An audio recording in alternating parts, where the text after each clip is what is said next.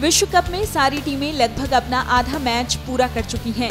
अब बारी सेमीफाइनल में जगह बनाने की है, जिसके लिए सभी टीमें बाकी बचे मैचों को जीतने की कोशिश में जुटी हैं। पाकिस्तान ने साउथ अफ्रीका को हराकर एक बार फिर से अपने लिए संभावनाएँ तलाश ली हैं और भारत अब तक अपना कोई भी मैच नहीं हारा है उसकी दावेदारी मज़बूत है संभावना ये भी है कि भारत और पाकिस्तान एक बार फिर से आमने सामने हो सकते हैं। ये मुमकिन कैसे होगा, ये भी समझिए। पाकिस्तान क्रिकेट टीम के दक्षिण अफ्रीका के खिलाफ प्रदर्शन को देखते हुए लगता है कि अगर वो अपने बचे हुए सभी तीन मैच जीत लेती है तो वो ग्रुप स्टेज में नंबर चार पर रहेगी। अगर भारत अपने सारे मैच जीत ले तो वो पॉइंट्स टेबल पर पहले नंबर पर रहेगा। ऐसे में उसका मुकाबला मैच पॉइंट्स में चौथे नंबर पर रहने वाली टीम से होगा।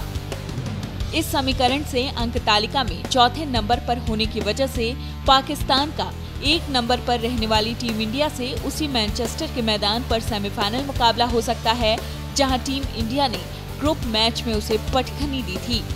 सेमीफाइनल में जगह बनाने के लिए पाकिस्तान को अपने बाकी बचे तीन मैच जीतने होंगे। इसके अलावा उसे न्यूजीलैंड टीम के नतीजों पर भी निर्भर होना होगा। न्यूजीलैंड के फ़िलहाल छह मैचों में 11 पॉइंट्स हैं। और पाकिस्तान के छह मैचों में पाँच पॉइंट्स हैं।